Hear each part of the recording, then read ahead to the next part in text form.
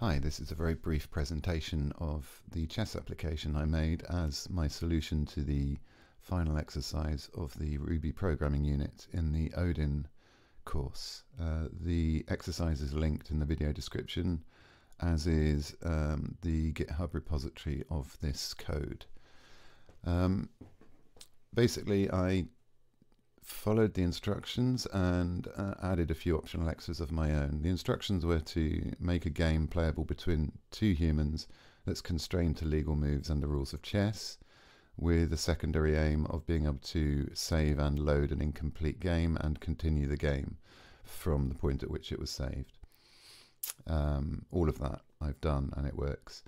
Uh, obviously, the first thing we can see is it's got a graphical interface. This was not specified. Um, so any students who might be watching this, who are approaching this uh, exercise, you don't need to do this. Uh, I found it useful in development and debugging because I could see more clearly what was happening and what was not working. Uh, on the other hand, it added a lot of extra work in terms of creating and managing the elements of the UI. Uh, for example, there's no um, kind of built-in hover functions uh, I had to, you know, write that code myself, make sure that the colors, images updated, the tooltips showed in this information box, etc. Um, but the elements of the, the GUI are fairly self-explanatory. There's a to move indicator here, the blue bar, which shows which side is to move. Um, pieces are moved simply by dragging and dropping. Um, we can flip the board um, and play on um, so it's white to move. We, we can use auto flip, which means that it will flip to the side to move. Um, I'm going to turn that off. We can turn the coordinates on and off, which are around the edge of the board here. So I'll turn them back on. We can turn the highlighting of moves off and back on again. So now you can see, we can see which moves the green squares this knight has available. Um, load and save game which brings up this menu, which I'll explore a bit more later, and sound on and off. So at the moment it's off, and now it's on. Um, new game, offer draw, resign, which is uh, fairly self-explanatory, and we've got some buttons down here to navigate moves that have already been played. Um, while we're navigating moves, we can't play uh, further moves from this point because that would change the game we can own, so for example here, we would expect white to be able to move, but white can't move. But we can play on from the last position. So in other words, uh, we can't change the moves that have already been made. Okay, so that's uh, the GUI and basically how it works. Oh, we've also got um, a material value here, and this will show the differences in material as well as a total for each side. Um, gameplay. The by far the biggest challenge of this exercise is to work out how to constrain the pieces to legal moves, since this is dependent not only on the type of piece, because different types of pieces have different types of moves, but also um, by some positional considerations. Uh, certain uh, um, qualities of positions will limit the moves available to certain pieces and also by whether or not certain pieces have moved. Um, pawns and kings and rooks, for example, ha may have different moves available whether they have moved or not. Um, let's explain that a bit more clearly. So firstly we have pawns can move forwards um, and they can take diagonally. We have um, knight moves, which is a kind of L shape, bishop moves, which are diagonals, and rook moves, which are orthogonal, horizontal or vertical. Um, and we can see a bit more of that if we give this room to move. Now we can see the rook can move horizontally, vertically. Um, and the last two pieces to show are the king, which can move one square. Uh, it can't move here because of the check from this bishop. So let's give it some room. Now it can move here or here because the pawn is blocking the check. And the queen which can move basically like a bishop and rook combined. Um, lastly we have the castling move um, like so. Um, as I was saying, certain pieces, for example pawns, um, have different moves avail available depending on whether they have moved or not. So before a pawn has moved, on its first move, it, it may well be able to move two squares or one square. However, after it's moved, it's only ever one square.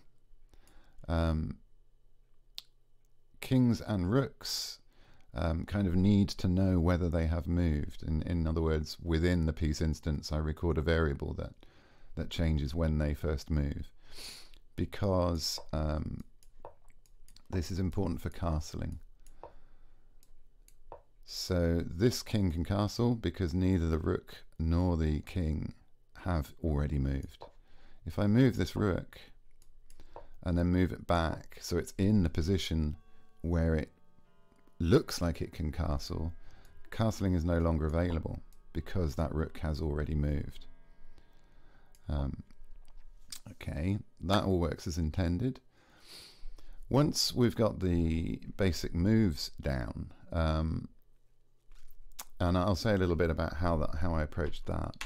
Basically, I started with um, a parent class of piece, which contains within it the basic orthogonal step, so one step horizontally or vertically, and also uh, a method for diagonal step um, in any one of the four directions that are possible. Um, and this does, for example, things like um, detects whether it's met an edge of the board and prevents the move from continuing off the board, etc. The next um, kind of hierarchy down below the parent class of piece is sliding piece, which is basically for bishops, rooks, and queens, which will use a number of um, steps in either orthogonal or uh, diagonal directions, or often will be able to do that.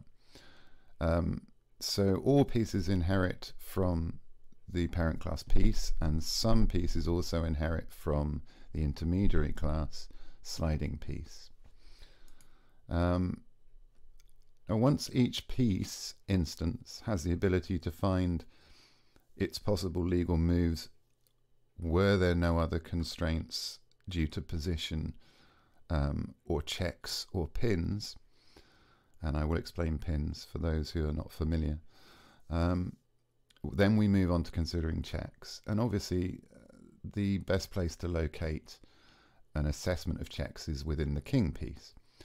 Um, basically, after every move, the king of the side to move will look for uh, checks. Now, in this position, there are no checks. Let's let's move on a little bit. Um, okay, now the black king is in check, and the black king knows, in inverted commas, that it's in check because it looks along all diagonals and all horizontals and verticals for enemy pieces that may be putting it in check. And it finds a bishop here and it knows that it's in check because there's nothing in between it and the bishop. This basically means that the king must either move to a square that's not in check, which would need assessing that square for check again, um, or block the check. And this is where we begin to see pins coming in as well. So for example, this bishop would normally be able to move all the way along this diagonal were the king not in check. But now it only has this square available. This knight cannot move at all because it does not block check. So let's move the bishop. Okay, the bishop is now blocking the check and white can now move. This bishop now is limited only to these two squares to move because if it moves here it's now allowing it's it's enabling a check. And this is what uh, being pinned means. So this piece is pinned.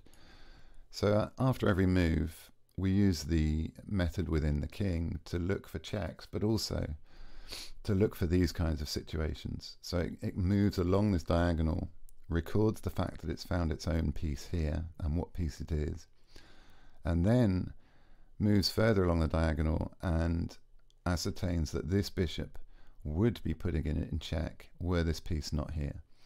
Therefore, it knows that this piece is limited to staying where it is or moving towards the piece or capturing the piece that would give check were this piece not here. Um, so basically, after every move, all of that needs calculating for every piece that could give the king check were it uh, were the piece not there. These these are the pinned pieces.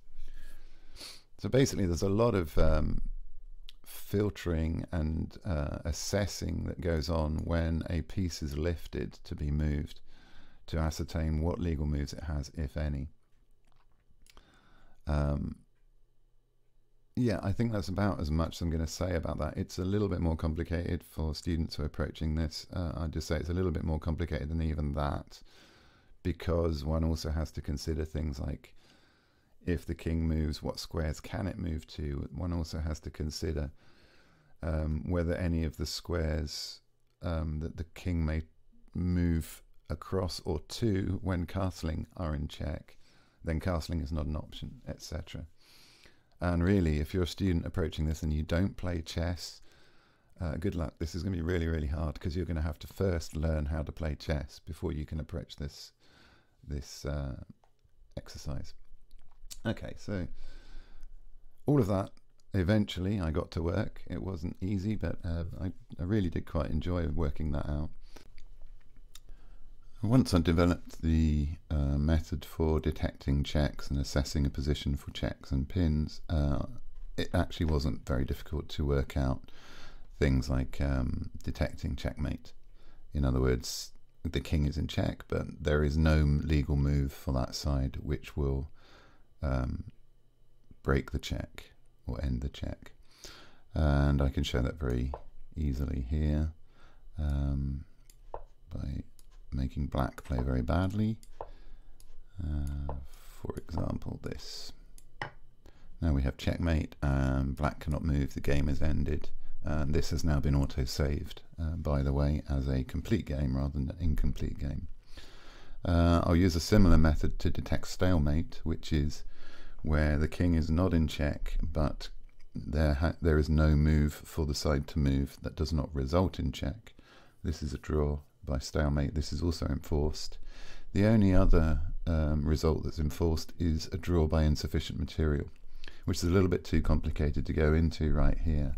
Um, I kind of enforce the simplest, clearest versions of this. There are much more complicated versions that I don't enforce, that in a real game would require a player to claim um, the draw in any case. It wouldn't automatically be enforced. Um, other draws, uh, like a draw by repetition of the same position three times, will be offered as advice. Uh, I can give an example here very quickly.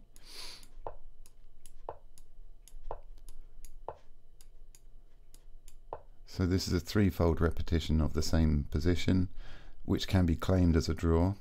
And if I click here, the, the game will end and the result will be half-half, a draw. Or it can be ignored and we can uh, black can play on. Uh, which is pretty much as it would be in a, in a tournament game of chess. The same thing happens for the 50 move draw, uh, rule draw, which again I won't explain. Um, you can research it if you're doing this exercise. Um, so results are enforced as well, uh, as much as they should be. One last thing to mention is um, en passant is also a thing, as it should be. So um, here, if this pawn tries to move past the white pawn using its two move uh, ability, white will have the ability to take en passant. Um, now that will only exist for the first move um, it exists for. It only, it only exists for one move. So it's available now. To this white pawn, but if white plays something else, it's now not available to this pawn. Now I noticed a lot of students had problems with that and I can see why. Um, there's quite a lot of conditional logic going on there and also when the pawn does take it's taking a piece that isn't on the square that it um, goes to and this is unlike any other taking move so I can understand why this caused students problems uh, it just takes a little bit of extra um, kind of work and finesse with conditionals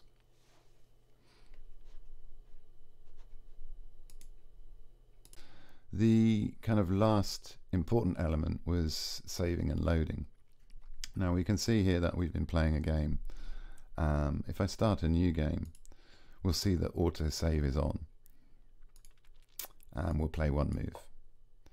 Um, if we go to load save and we choose incomplete game, the last or the, the top item here will be the current game. So let's load that. And yeah it looks exactly the same. This was auto saved and we can play on. Now if we go back to loading complete game now this game will be the game we were playing two games ago if you like. And there it is. Um, and once again we can continue playing from this point so that works fine. I, I, chose to implement an auto-save option which can be turned off and then games can be manual saved.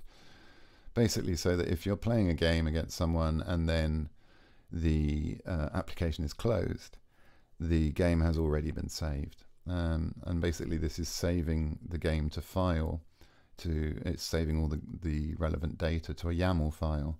And then every move that's made, the most recent saved file is deleted and a new save is created.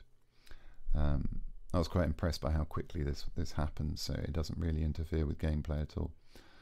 Um, and I think that's more than enough to present the application.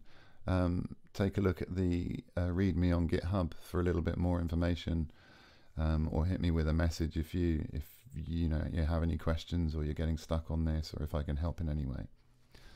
Thanks very much for watching.